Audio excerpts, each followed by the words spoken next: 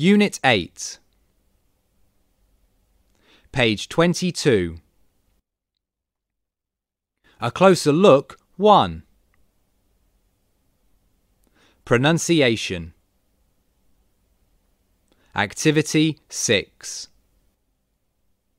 Mark the questions with falling or falling rising arrows and practice the conversation with a partner. Then listen to check your pronunciation.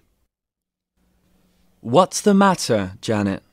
I'm looking for my passport. It seems to be lost. Have you already searched your purse? Not yet. Oh, where are my glasses? They may be in your plastic bag. Where is it? Oh no, it's not here. Have I dropped it on the plane? Oh my god. What should I do now? Let's report it to the customs officer.